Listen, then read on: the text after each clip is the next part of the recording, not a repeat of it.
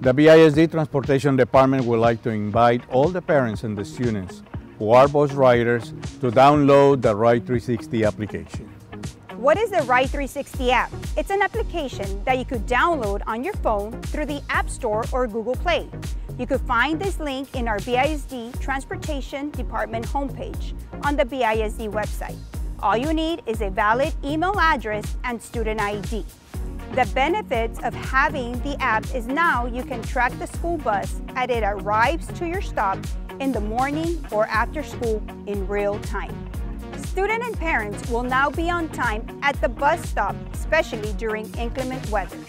Another feature is when the new RFID cards are issued, starting with our elementary students, parents will actually be able to see when their child boarded the bus and deboarded either at home or at school. Remember, in order for the student to appear on the application, they must be routed in our transportation system. If you cannot find your child, please contact your campus so they can properly register your child. Again, visit our transportation website for more information on our Ride 360 app.